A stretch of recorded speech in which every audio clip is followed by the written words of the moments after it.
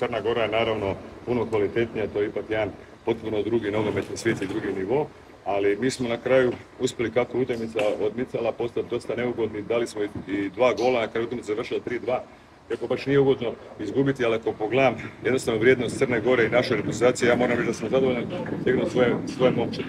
Što tiče ove neke sportne situacije, iskreno vam kaže, meni se u prvom trenutku tako činilo, e, sudac je onako kao da je primio puškaljku, pustio je, ne znam da li sam u pravu, ne mogu sada tvrditi, to je bilo jednostavno jedna reakcija onako kako trener ponekad reagira, možda i pretjeran, ali tako mi se učinilo, ako pogledam snimku, možda ću se morati ispričati.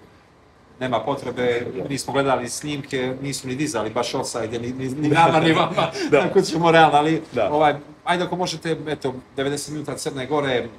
koja je bila malo i kombinovana, kako ste vidjeli ovu reprezentaciju, pa ja sam, i ako nije problem možda neka prognoza za... Pa ja sam, pa ja sam gledao i prije ovaj, Crnu Goru, Crna Gora ima u principu odličnu reprezentaciju i treba biti realno da je danas ovo bila jedna kombinirana reprezentacija Crne Gore. I znamo koliko tu još ima kvalitetnih igrača. E, ja mislim da Crna Gora ima jednu momčad koja u jednom danu kada su svi raspoloženi i kada imaju taj neki pravi moment može dobiti bilo koju reprezentaciju i od ovih jačih.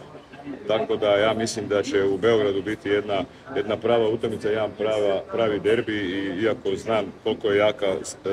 reprezentacija Srbije koja ima možda još više nekih jakih individualaca, E, ja mislim da će to biti jedna otvorena utakmica da sasvim sigurno i Crna Gora ima šansu napraviti dobar rezultat i želim im puno sreće. Iz vašeg nekog iskustva kao igrači, kao trener, koliko je bitno da se ne podlogi na atmosferi postojećeg terena, ili to možda i